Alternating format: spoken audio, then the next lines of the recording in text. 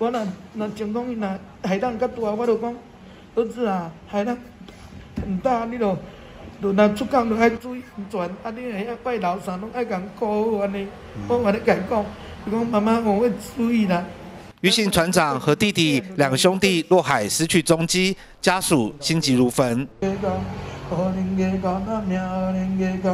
于妈妈不断的念经，期盼有好消息传来。八斗子渔船渔父八八八号捕蟹船五号出海捕鱼，但却传出六号上午在东引东北方外海八十六海里处失火。当时船上渔姓船长和弟弟和九名印尼籍的渔工跳海逃生，其中九名外籍船员被两艘货轮顺利救起，而余姓兄弟则是下落不明。今天凌晨做完口供，是说他们两兄弟是一个有抱。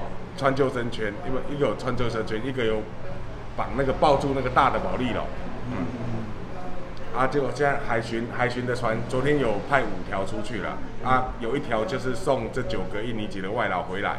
渔夫八八八号船龄大约五年，是 CT 四的渔船，专门捕捞螃蟹。一个月前才花两百多万元整修翻新，但现在传出渔船失火，让家属很纳闷。那算中补的啦，不过说真的，他。嗯，前两个月才又翻修电线什么的，又花两三百万了。哦，才翻修过的。嗯。他平常都是去哪里补？大部分都是在彭家里附近。两位余姓渔工亲兄弟的家属非常担忧两名呃未被搜救、未被呃解救的这两名渔工的安危。现在我们要呼吁政府，除了台湾的海巡队尽力来抢救之外，因为近平潭的沿岸也能通报给所有附近海上船只，甚至通报给大陆的呃相关的海巡单位，能够来帮忙解救这两位呃大呃台湾籍的渔工。获救的九名印尼籍船员，经过海巡队接驳，平安抵达基隆海巡队，而包括马祖海巡队及基隆海巡队，出动了一舰四艇，在出事海域持续的搜救。经查，该船为八斗子级。